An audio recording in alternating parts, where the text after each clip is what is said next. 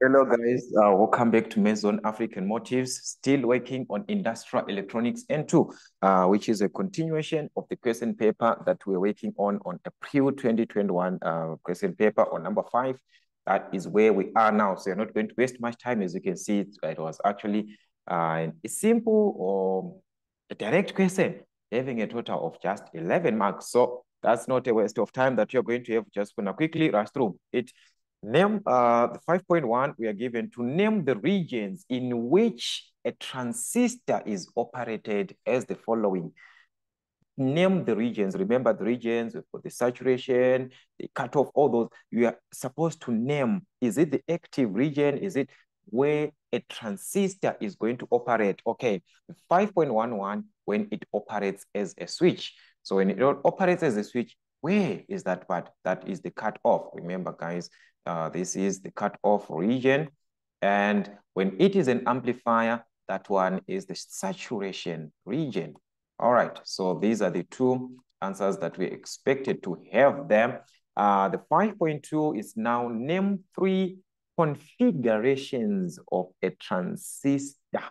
What are the configurations? Guys, you must be able to at least study this theory part so that you, you can be able to attempt these questions. They are direct questions, but they actually need you to work on more revisions. Okay, so 5.2, we actually have, it can be a common base. Okay, these are the configurations. So you can have a common base. All you just need is to take your transistor. This is a normal transistor, guys. Okay, you just need to know the legs of a transistor. We have got the base here, we have got the collector and the emitter. So those are the ones that you're going to have, but just have common. So you're going to have the common base. Uh, you can have the common collector.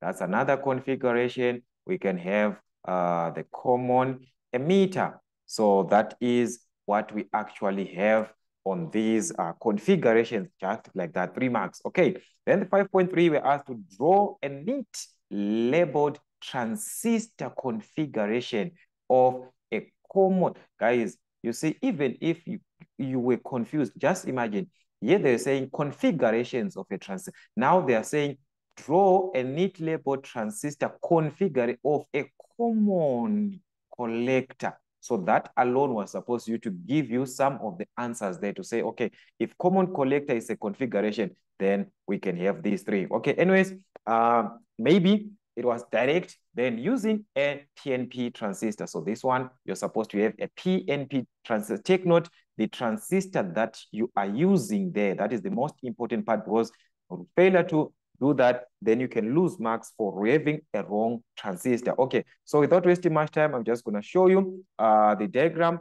how it looks like. So that is what we have. Uh, we have got the input voltage, that is the waveform of the input. Then uh, C1, that is the capacitor, R1 and R2, which is our voltage divider. Then as you can see here, the PNP transistor is flowing in here.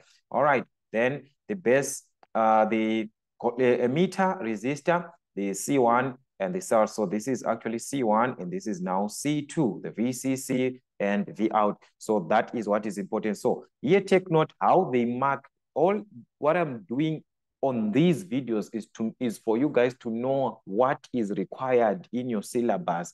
How do you answer the questions? Okay, so that is what is important uh, in this platform. So each component there, including input and output, is equal to a half mark.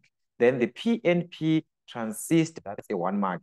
So failure to have this transistor, then you're going to lose one mark, which means you are now out of four then half mark for each component that you see. So make sure that you label all the components so that you obtain full marks. So that's it, guys, from Maths Zone African Motives, working on industrial electronics. N2, till we meet again.